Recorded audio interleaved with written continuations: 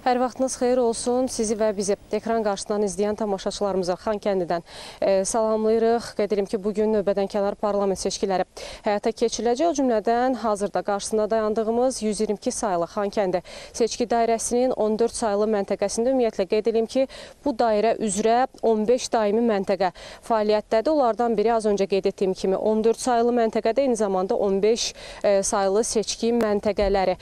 Həm e, burada məntəqələr üzrə qeydiyyatda olan vətəndaşlar eyni zamanda müxtəlif strukturlarda çalışmaq üçün Xankəndiyə ezam edilən vətəndaşlar e, gün ərzində öz səsvermə hüquqlarından istifadə edə biləcəklər. Qeyd edim ki, bu dəfəki parlament seçkiləri olduqca böyük əhəmiyyətə malikdir və əhəmiyyəti isə ondan ibarətdir ki, düz 32 ildən sonra e, Qarabağda işğaldan azad edilən ərazilərimizdə, e, Xankəndidə, eyni zamanda digər ərazilərimizdə parlament seçkiləri reallaşdırılacaq və bu əlamətdar anlara bir qədər sonra start veriləcək qeyd edeyim ki, həm gün ərzində burada baş verən proseslərlə bağlı e, istər məntəqənin səhər saatlarında açılması, seçki e, prosesinə start verilməsi, eyni zamanda e, müşahidə aparacağımız ərazilər üzrə baş verən hadisələrlə bağlı gün ərzində ətraflı məlumat verməyə çalışacaq. Eyni zamanda Xankəndidə reallaşdırılacaq seçkilərlə bağlı geniş reportajımız olacaq ki, elə efir vasitəsilə bunun da anonsunu vermiş olaq. Odur ki, bizi izləməkdə davam edin və bu saata çatdırmaq istədiklərimiz isə təbii ki, bundan ibarət idi və sözü yenidən studiyaya É outro oturur.